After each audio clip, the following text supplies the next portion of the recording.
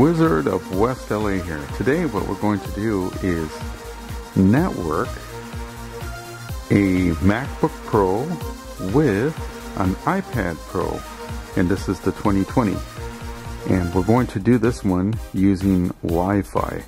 I'll show you the very simple setup that needs to be done and then I will do another video on this as we set this up using Windows 10. We'll do both. The iPad Pro 2020 is actually very, very versatile, especially using the files mode, where you can copy files, you can view files, but you can also connect to a network.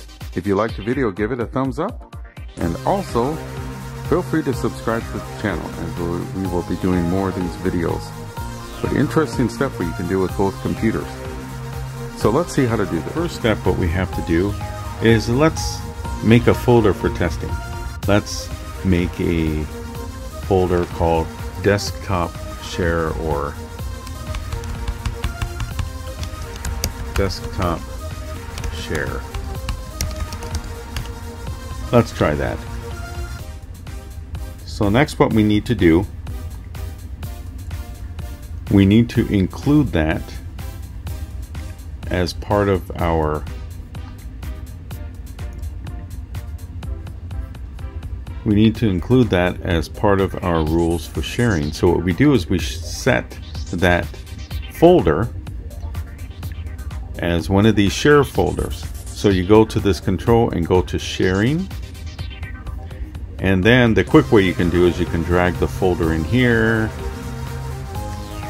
And then you can click on desktop share and you can choose users. You can add a user, subtract a user. We'll just use mine as I log in and we will turn on file sharing. Now here's the key.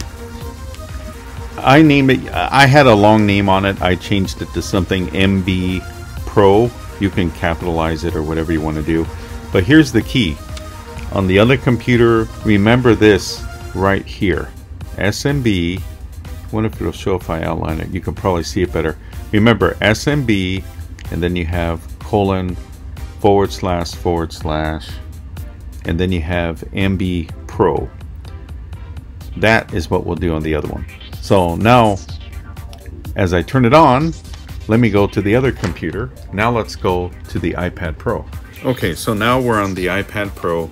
Go to the files and you'll see everything on files. Click on the top where it says connect to server and now type in that same thing, SMB which is a Samba server, colon, forward slash, forward slash.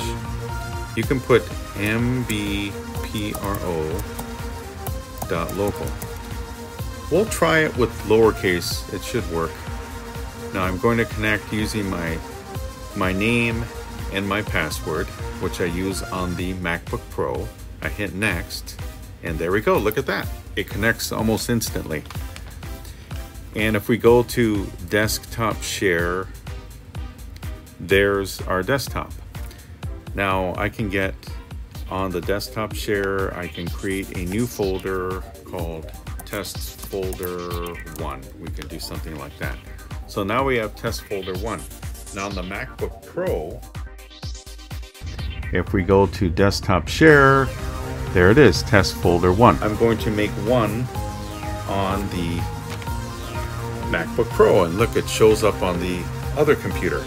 So I can put like I don't know pictures or whatever and hit enter and then on the MacBook Pro you can see the word pictures. So that is how you do a network. It's actually very very easy. And the nice thing about this is you can also use it for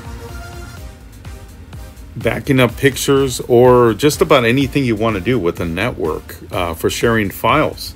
So you can use the MacBook Pro as a server and you can copy things. Uh, don't forget on the iPad Pro you can put two together. I'll do it right now. You can put one on the side just if you're curious and I can change locations on the other one and I can go to the iPad and I can copy drag folders from one to the other.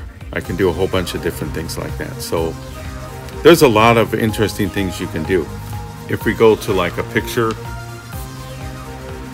go to like Google, we grab on this and test plus. There we go. It stores the uh, the image on there. So the image is now stored on here. If we click it, huh, it opens it. There we go. So you can drag a bunch of uh, pictures. Actually, it's kind of kind of useful if you do cars or something on here and you do images. You could probably get some of these on here. You could probably grab this. Let's see what it does. If it drags on here. Yeah, look at that. You can drag uh, a bunch of uh, pictures and stuff. I don't know if it'll do it as, probably does it as PNG. Yeah. So that is how you network them. If you have any questions or anything, feel free to subscribe to the channel and also leave some comments if you discover any other things. I'm going to do another one where we have Ethernet connections on both of them. I want to network them both together so we don't have to use the router. And I'll put up a video on that. But I thought we'd get started with this because most everybody has a router and you can use it as a, use it as a way to put things back and forth with files. But it's pretty it's pretty powerful the file sharing on the iPad Pro, especially that app. It works out really really nice. So I'm glad you enjoyed the video and just want to show you a quick thing on this on networking. And remember, keep on learning.